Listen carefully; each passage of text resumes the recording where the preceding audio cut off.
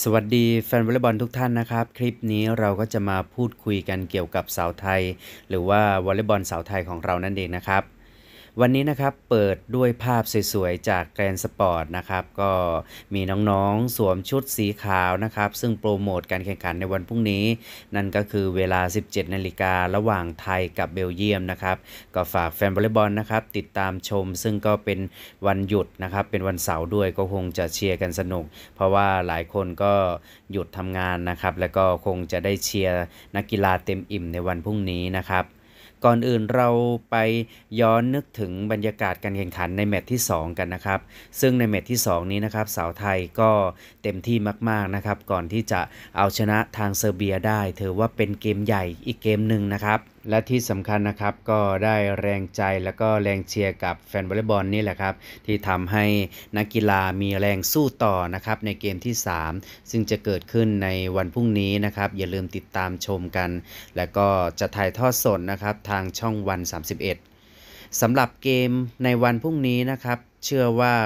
สาวไทยของเราก็คงจะนำข้อผิดพลาดที่เกิดขึ้นในเกมที่2นะครับนำไปปรับแก้ไขรวมถึงการวางแผน แล้วก็การดูเกมของเบลเยียมนะครับว่าพรุ่งนี้เบลเยียมจะออกมาทิศทางใดและเราจะรับมือยังไงนะครับ ทางเบลเยียมเองก็เหมือนกันนะครับ ก็ต้องศึกษาทีมจากสาวไทยของเราเหมือนกัน แต่ก็ยังมีความเชื่อมั่นในฝีมือน้องๆนะครับ ว่าสามารถที่จะผ่านเบลเยียมไปได้สำหรับ เกมที่สาวไทยลงซ้อมวันนี้นะครับ ก็จะไปปรับนะครับในเรื่องของเกมเสิร์ฟก็คือเสิร์ฟให้เด็ดขาดมากขึ้นนะครับ มีการเน้นที่บอลเสิร์ฟถ้าได้ชมนะครับแฟนวอลเลย์บอลได้รับชมการแข่งขันของญี่ปุ่นใน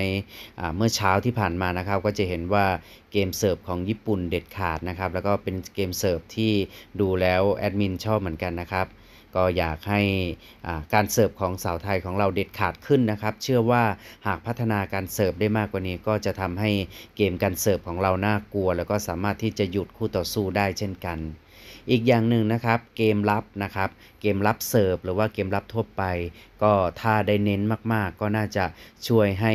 เกมบุกของเรานะครับ สามารถโต้กลับได้อย่างยอดเยี่ยมนะครับ ซึ่งในเกมบุกก็ไม่ห่วงอยู่แล้ว เพราะว่าผู้เล่นของเราก็มีความหลากหลายนะครับ โดยเฉพาะเซตเตอร์อย่างพรพันธ์ก็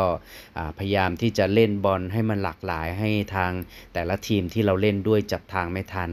ซึ่งเราก็ได้เห็นในการแข่งขัน 2 นัดที่ผ่านมานะครับก็คงจะต้องติดตามแล้วก็รอดูกันในวันพรุ่งนี้นะครับว่าสาวไทยของเราจะยังคงรักษาการเก็บชัยชนะเป็นนัดที่ 3 ได้หรือไม่นะครับก็ฝากแฟนบอลบอลเช่นเคยนะครับ การเชียร์ของเรายิ่งใหญ่กว่าสิ่งไหนๆนะครับ รวมกันเชียร์ให้กำลังใจนักกีฬากันต่อไปสำหรับคลิปนี้นะครับ ใครมีความคิดเห็นอย่างไรก็สามารถที่จะคอมเมนต์แล้วก็ให้นักกีฬาให้กำลังใจนักกีฬาได้นะครับ สวัสดีครับ